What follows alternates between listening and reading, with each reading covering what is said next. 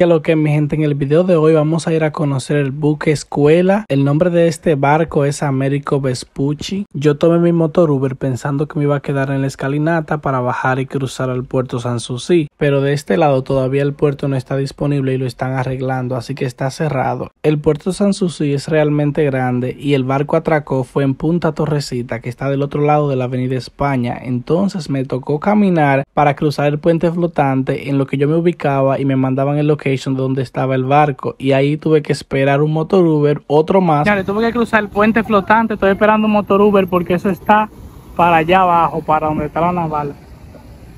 Allá arriba que está el barco, del otro lado, lejísimo.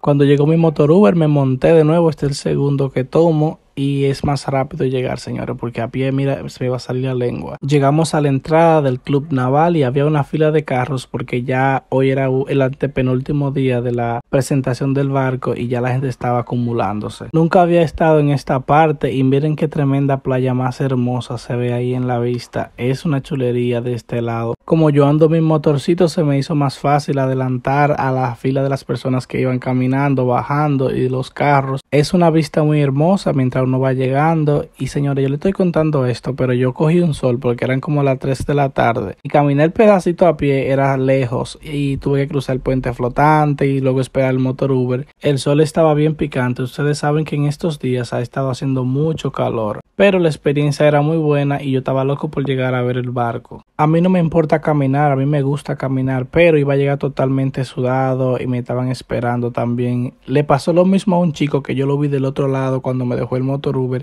y él se echó todo el trayecto a pie, cruzó el puente, caminó todo esto. Yo dije, wow, realmente es un camino muy largo y cuando lo vi llegó el pobrecito cansado. Ya aquí yo estaba tranquilo porque estaba viendo barcos, esos que se ven ahí son de la República Dominicana. Este barco se llama Buque Escuela, pero tiene una historia muy interesante que se la voy a ir contando. Tenemos una vista de la playa que se encuentra aquí mismo cerca del puerto. No creo que se bañe mucha gente, pero nadie sabe si de los militares de aquí adentro se bañan y también es una zona protegida porque hay nidos de tortuga. Cuando yo me acerqué aquí, que veo esta fila que le da la vuelta al sitio, dije era demasiado bueno para ser cierto. Hice mi fila tranquilito hasta que me tocó el turno de llegar y le voy a enseñar más o menos cómo era la cosa por ahí. Poco a poco la fila fue avanzando y señores, si ustedes vieron que yo hice una fila cuando yo iba avanzando era que llegaba más gente la fila se hizo largota. Pasamos al chequeo donde estaban unos guardias y ahí ya pasamos al lado de la carpa. Aunque las filas eran largas, las personas iban fluyendo rápido, saliendo y entrando. Hay una puerta de entrada y una de salida como con escalera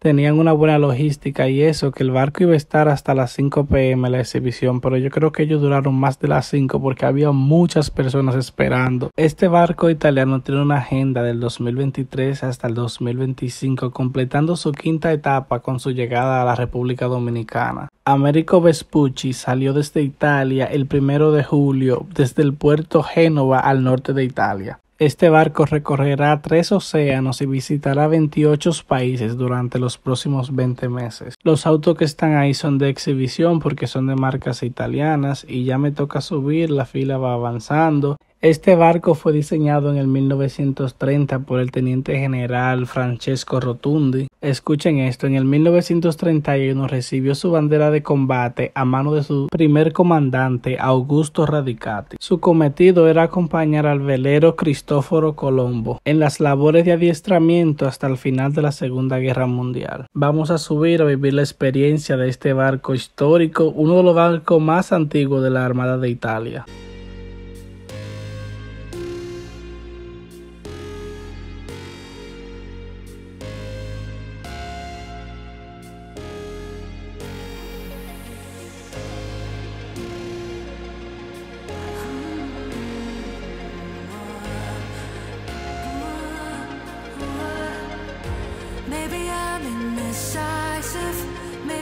那就。